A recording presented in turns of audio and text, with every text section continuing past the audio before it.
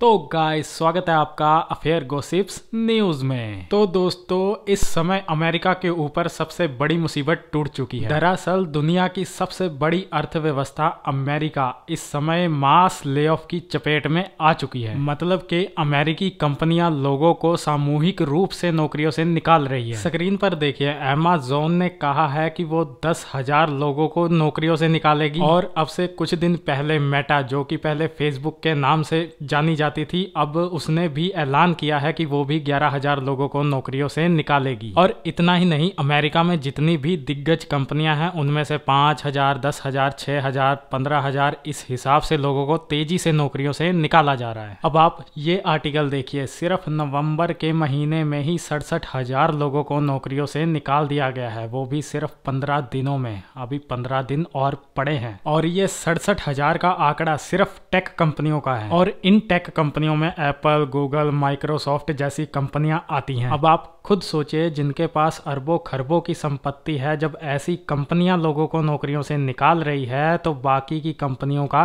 क्या होगा? और इसीलिए कहा यह जा रहा है कि अमेरिका के अंदर आने वाले 2023 की शुरुआत तक ही तकरीबन ढाई मिलियन लोग हाथ धो देंगे अपनी नौकरियों से। कुछ ही महीनों के अंदर बोले तो 25 लाख लोग। और ऐसा क्यों हो रहा है? क्योंकि अमेरिका के अंदर महँगाई बहुत ही तेज़ी से बढ़ी है और पिछले 40 साल के रिकॉर्ड तोड़ दिया है इन्फ्लेशन के अंदर। और इसी वजह से लोग बहुत कम खर्च कर रहे हैं अमेरिका के अंदर और ज़्यादा से ज़्यादा सेविंग कर रहे हैं। और सिर्फ़ वो ही चीज़ें खरीद रहे हैं जो बहुत ज़्यादा ज़रूरी है। और इससे अमेरिका की जो तमाम कंपनियों के प्रोडक्ट्स हैं, वो ज़्यादा नहीं बिक रहे। उनकी कमाई में कटौती हो रही है और जब उनकी कमाई कम हो रही है, उससे प्रॉफिट भी कम हो रहे हैं। इसी नुकसान को रोकने के लिए अमेरिकी कंपनियाँ कोस्ट कटिंग कर रही हैं। वो कैसे लोगों को नौकरियों से निकाल कर, ताकि जो तनख्वाह के रूप में पैसा खर्च करना पड़ता है, वो बच जाए और उनके जो नुकसान है, वो कम हो जाए। और इसी को देखकर अमेरिका के जो बड़े बैंक है, जैसे कि वेल फार्गो, जेपी मॉर्गन